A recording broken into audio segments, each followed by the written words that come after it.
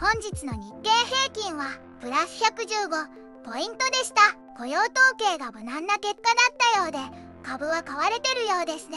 相変わらずニュースは見てないのでよくわかってません。てんてけてん最近の私は市場にこれといった情熱を持ってないわけですがそれは投資だ空気みたいに自然な存在だからでもあるわけです。あと今年から来年の岸田 NISA に向けてポートフォリオを大きく動かしているのも原因です。今まで個別銘柄の方がインデックスよりも稼げないかいろいろと試行錯誤してましたがやればやるほどインデックス投資の優秀さが身にしみる結果になるわけです。岸田 NISA プラスインデックス投資は僕の考えた最強の投資法。みたいな身も蓋もない原点のような結論に落ち着いてるので特に個別銘柄に振り回されて大騒をすることもなくなってしまったわけです。投資家として成長してるのかどうかは知りませんが何周も回って行き着いた先の結果が投資の基本の木である NISA で積み立てインデックス投資だったんだよとそういうことを言っとるわけです。気になるトピック。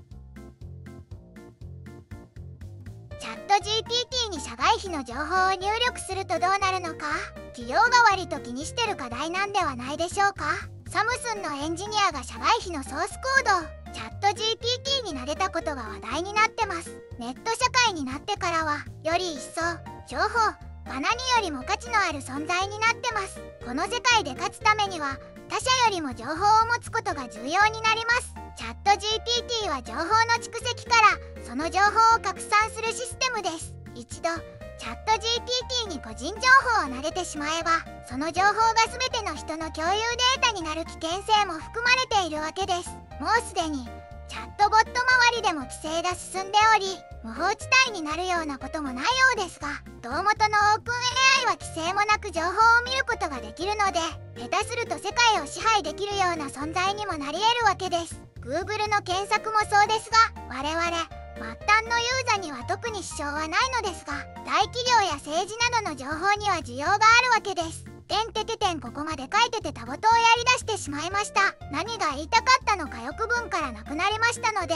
話題を変えます。てんてけてん相場サイクル的には SVB でパニックを終えたのか金融相場のような上昇トレンドです。あらゆるケースを想定して後悔のないトレードをしていきましょう。てんてけてん皆さん今日もお疲れ様でした。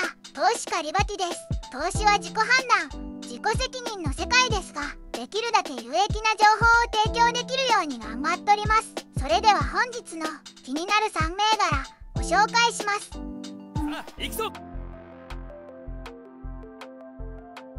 7974任天堂。今日はさっきピザの宅配を頼んだので来るまでに炊き上げたいので手短に紹介します。任天堂ビバってきましたね。落ちてる時はみんなネガティブな感じでしたが今はどうなんでしょうね。私はこのまま反発するんでは？と思ってます。海水照度は10%です。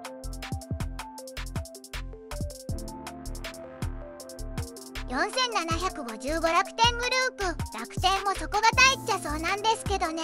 企業としての体質がボロボロなのでコンプラとかそこらあたりが大企業らしく体裁を保てるようになるといいですね。どうせ他の大企業も不祥事はしとるんでしょうがうまく隠したりするのも大企業たるゆえんなのかもしれません。知らんけど海水晶度は1%です。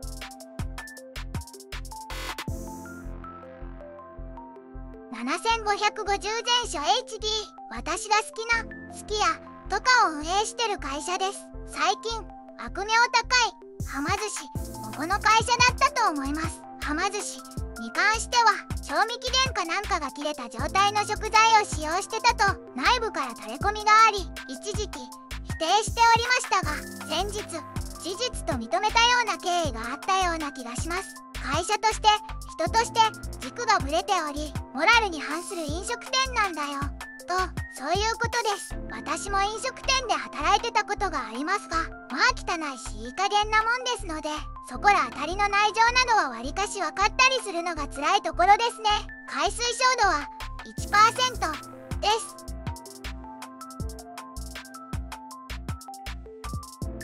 てんてけてん私は逆張り投資。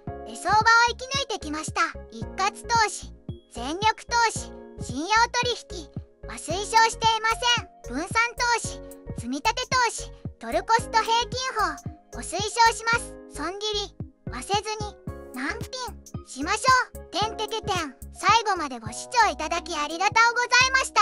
相場は自己責任で命を張りましょう。応援がてらチャンネル登録してもらえたら嬉しいです。それでは皆さんまた見てね。ご清聴ありがとうございました。